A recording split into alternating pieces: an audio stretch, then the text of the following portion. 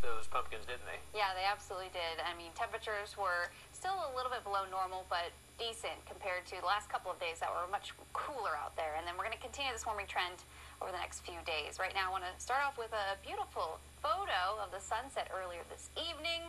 Thanks to our photojournalist Jeff Roberts, who was out there earlier and saw the beautiful colors of the reds and uh, in the email that he sent to us, he said that this is a good omen for the Chiefs to win.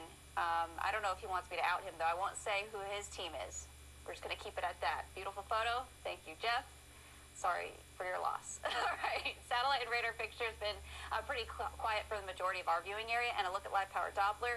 We did have some few, a few light showers kind of grazing on by in northwestern Missouri earlier, closer towards Maryville. Those are long gone. Improvement city cam showing you a look downtown uh, where you can see buildings here and a mostly clear sky, at least from this.